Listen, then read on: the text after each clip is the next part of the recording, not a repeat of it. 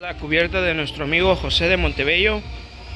Esta se va para el estado de California, Montebello, California.